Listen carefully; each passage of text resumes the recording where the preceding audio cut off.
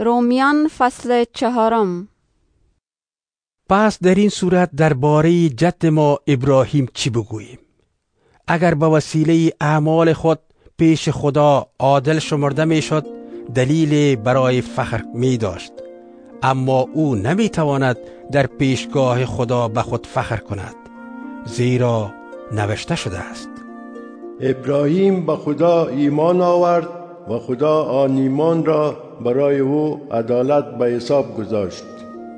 شخصی که کار می کند مزد می گیرد و مزد او هدیه به حساب نمی آید بلکه حق او است که باید به او پرداخت شود.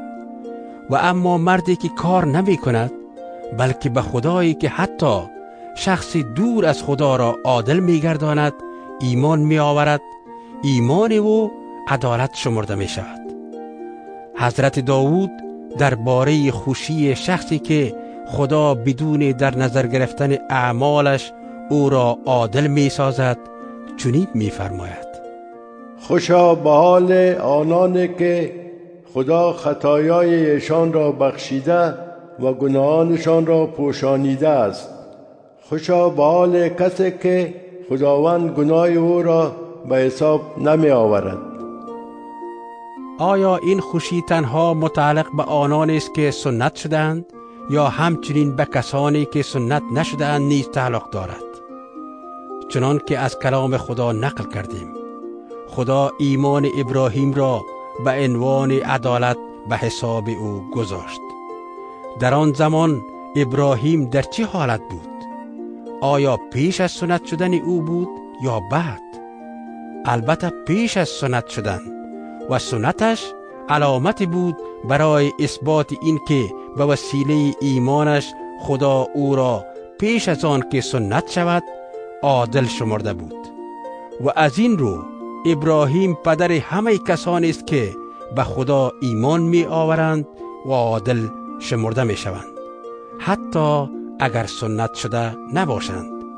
و همچنین پدر کسانی است که سنت شدند نه تنها به خاطر این که سنت شدند بلکه به خاطر این که از ایمانی که ابراهیم در وقتی که سنت نشده بود داشت پیروی می کنند. خدا به ابراهیم و فرزندانش وعده داد که جهان از او خواهد بود. این وعده به علت اطاعت ابراهیم از شریعت نیست بلکه برای این است که او ایمان آورد و ایمان او برایش عدالت شمرده شد. زیرا اگر وعده های خدا به کسانی داده شود که از شریعت پیروی می کنند دیگر ایمان آدمی بی معنا و وعده خدا بی ارزش است.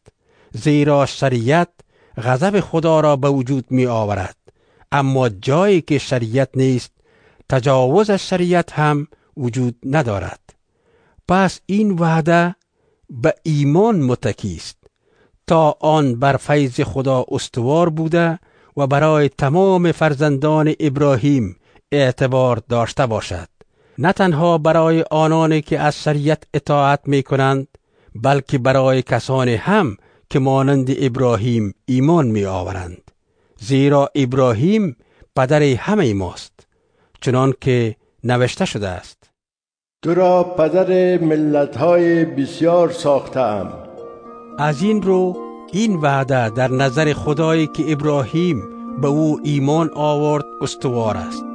آن خدایی که مردگان را زنده می سازد نیستی ها را هستی می بخشد ابراهیم ایمان آورد و در آن هنگام که هیچ امیدی نبود او امیدوار گشت و از این رو پدر ملت های بسیار شد. همان طوری که کلام خدا می فرماید اولاده تو به این اندازه زیاد خواهند شد. ابراهیم تقریبا صد ساله بود.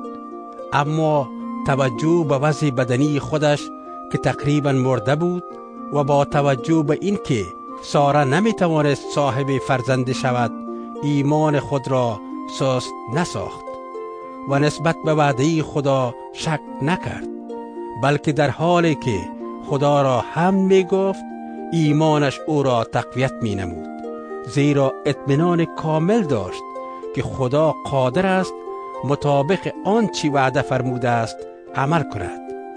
به این دلیل است که ایمان ابراهیم به عنوان عدالت شمرده شد. کلمات شمرده شد تنها به خاطر او نوشته نشد بلکه همچنین برای ما نوشته شد که باید عادل شمرده شویم. ما به خدای ایمان داریم که خداوند ما عیسی را پس از مرگ زنده ساخت.